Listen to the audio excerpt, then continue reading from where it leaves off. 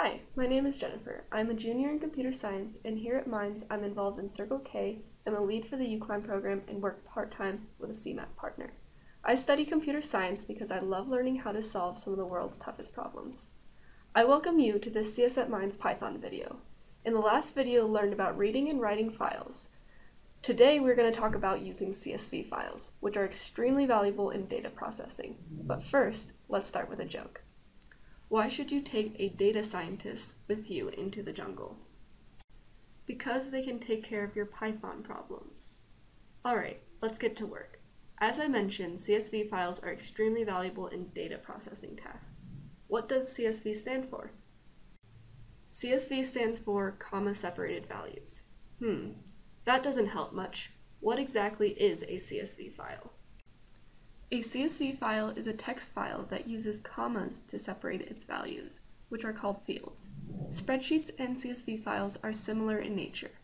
For example, you can save your Excel file as a CSV file, or you can load a CSV file into Excel. Notice the example CSV file on this slide has three fields, first name, last name, and some ID number. There are four basic steps when reading a CSV file. Take a moment to read through these steps yourself. We will then work through each step in more detail with an example.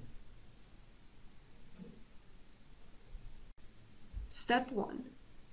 Import the CSV module. Once a CSV module is imported, then you have access to useful functions for files that are in CSV format. Step 2. Use with to open your file.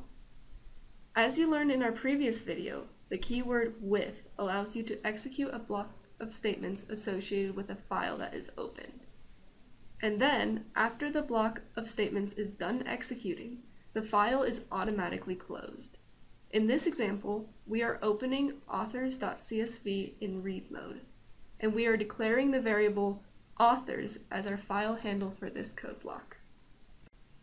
Step 3. Define a reader object for the CSV file. We define this reader object via the function csv.reader. Notice how we pass in the file handle for the file, or authors in our example, as well as a delimiter for the CSV file, which is a comma. This CSV reader object will then parse the CSV file for us. Step 4. Iterate through the reader to access your fields. We need a for loop to access each row within our CSV file. Each row within author reader will be a list, so we can print each row that we read in this manner. So, for example, with the data provided earlier, the output would look like this. Or, you can imagine adding more details to the data, such as printing row numbers with the data. The output for this case, with our example data, is shown on this slide. As before, row is the variable that prints the information from the CSV file. Notice the output format matches that of a list. Of course, since a row is a list, we can access the values within the list using indices. The code on this slide shows how we can access the first and last name separately while printing. The way the output is shown in this case is certainly easier to interpret than the list output we saw in the previous slides. Let's now talk about writing a CSV file. Writing a CSV file follows similar steps. The key differences follow.